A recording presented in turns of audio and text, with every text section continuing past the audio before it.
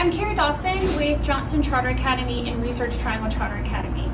Today we're going to take a small tour of our sixth grade wing in our Johnston Charter Academy school building. Starting from right here, we are at the end of fifth grade and entering into our middle school wing. This is one of our first sixth grade classrooms. It's a math classroom with Ms. Palmer. And as you notice, outside of her classrooms, we have lockers. Our kiddos are able to decorate their lockers however they would wish, as long as it's not permanent, um, and they can have a combination lock on that as well. We would normally go into Ms. Palmer's classroom, but right now we're doing EOG testing and it's not set up like it would normally be. Now we're gonna take a trip a little bit further into our sixth grade wing. Uh, it partners with our seventh and eighth grade because we're a little bit of a smaller middle school community. So with our two sixth grade classrooms, we have Miss Miller and Mr. Warren. We also have seventh grade as well. Let's go into Miss Miller's classroom. She is our ELA teacher for middle school. And you'll notice right up front, you're gonna see her board.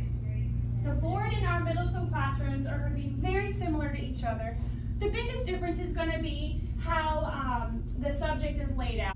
Um, their I-CAN statement here is also going to be straight out for them. Their homework is always going to be up on the board. Going right along with our student responsibility pillar, um, we keep that up front and center so they can write that right into their planners. CHAMPS is also our behavioral expectations. We do this kindergarten through eighth grade. Um, so this is nothing new to our kiddos that have come in or transitioning from fifth grade up to sixth grade, but any new families that we have, we have conversation, help, activity, movement, participation, and always success. Conversation, how loud are you supposed to be? H, how do you ask for help? Activity, what are you doing? Are you doing whole group, individual group, individual, Chromebook, uh, whatever your activity is gonna be will be up here on the board. Movement. There are multiple ways you can move around the classroom, P participation 100%, and S for success. Every classroom will have their own. Instead of having one big library room, we have individuals where we just stuff them into the classroom. That way kids can check them out every day if they would like. Here we on to Mr. Warren's classroom. Again, this is going to be a little bit different just because, again, we're testing today. So Mr. Ward's classroom is a little bit different just because we do have the science for, um, for our science experiments when we have them. His champs is still up on the board and right now their IXL um, for science is going to be up. Again, their homework or their activities for the day.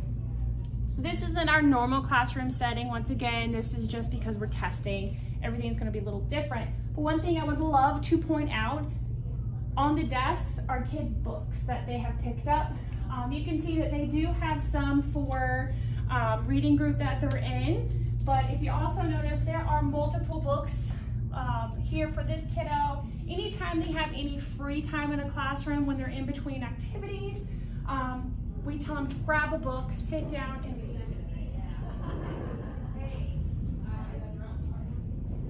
Now we can head on out. Um, I'll show you the rest of our lockers that we have for our kiddos. Oh, remember how our kiddos.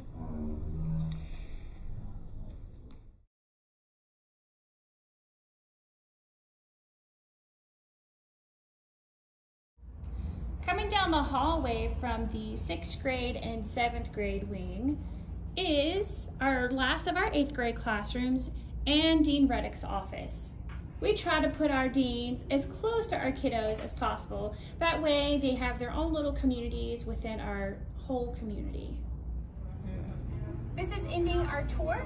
Um, right here starts seventh grade and then around the corner we have the rest of seventh and eighth grade.